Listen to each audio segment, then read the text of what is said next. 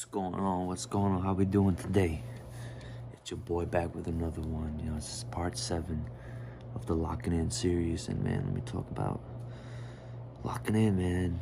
I think uh, throughout this week, I've I've made I made significant progress, man, and things have been getting better in terms of just my commitment to taking life seriously. I've grown both mentally and physically in many areas. I feel like this is kind of weird. This is a better angle. In many areas, um, I feel like, you know, fuck.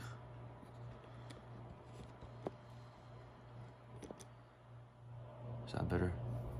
Okay, so I feel like I've been growing in many areas and, you know, I've been trying to hit some PRs at the gym, but, you know, here's the thing, man you gotta stay hard, man. You gotta keep going no matter what happens. You gotta keep going. You gotta sweat. You gotta put in those hours and you gotta keep grinding. You gotta be the hardest worker in the room. No one's gonna do it for you. No one's gonna lift those weights for you. Nobody but yourself. Nobody's gonna stop you from eating that food. You gotta do it yourself, man. You gotta commit. You gotta put in the effort. You gotta put in the hours. Put in the hustle, man. This is all.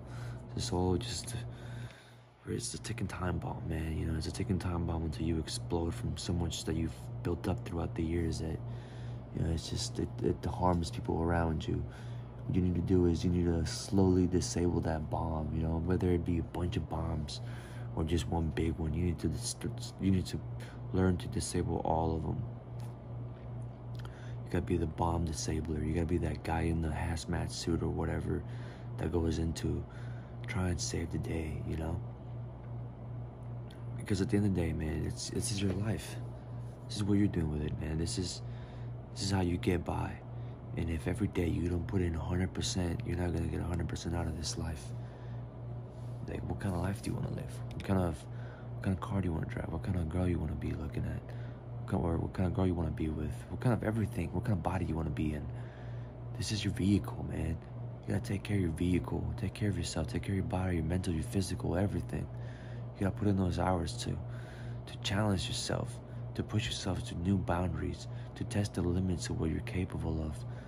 You gotta do it all, man. You gotta do it all. And you know, people say to me, man, I'm just lazy or just don't have the time. Dude, you're already, you, you know, there's people out there that make the time. And you know, maybe I, I get it, man. Sometimes people are just not meant to compete makes it easier for us. Makes it easier for the rest of us that really want to be out here putting in work. You know, when I don't see you at the gym, honestly, it makes me feel better. It makes me like, okay, there goes another one. There goes another body. Like David Goggins says, man, you're taking souls.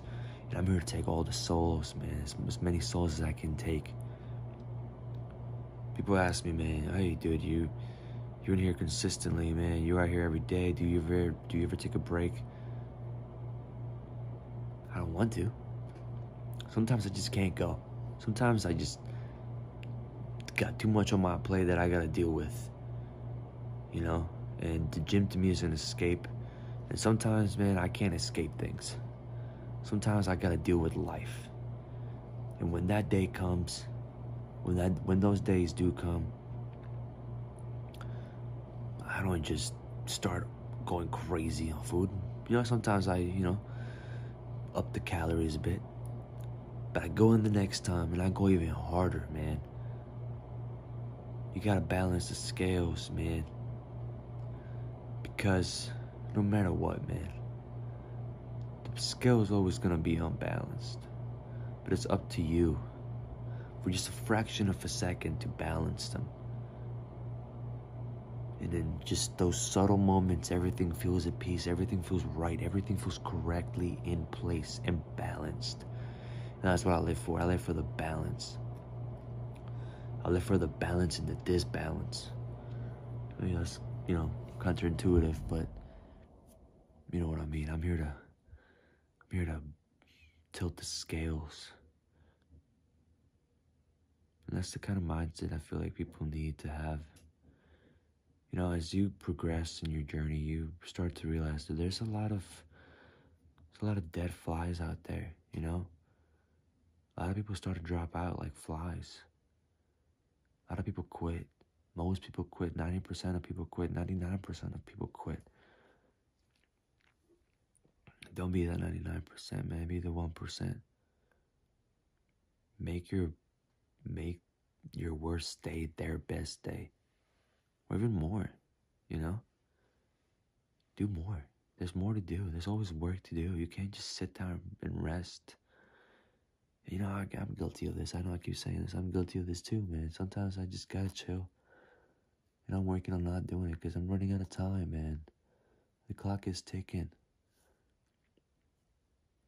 You gotta move.